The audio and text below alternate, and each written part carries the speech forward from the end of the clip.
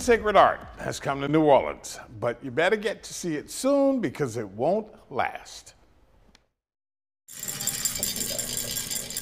A sand mandala is originally a practice device. It's something that meditators would visualize in their minds and visualize themselves passing through each level of the mandala. So this is a visual representation of that. Tulane um, philosophy professor Carl Schmidt explaining the traditional art being created just over his shoulder. The artists are Tibetan monks visiting the campus this week. In this particular case, the mandala is actually a visual representation of a palace. The mandala is also full of beautiful colors and meticulously created with sand in every hue of the rainbow.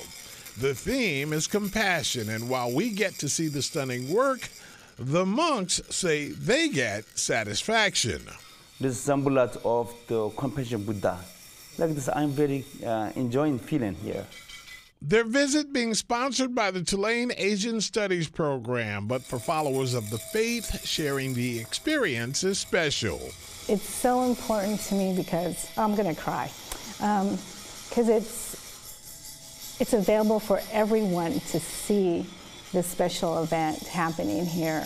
You can stop by to see the mandala being built on campus at the Howard Tilton Library, but you must get there by Saturday morning because an important part of the Sand Mandala tradition is a ritualistic dismantling of the work. And that's the idea that everything comes into being and then will one day go away. So that we should not become too attached to anything, uh, even a beautiful artwork like we have being made behind us.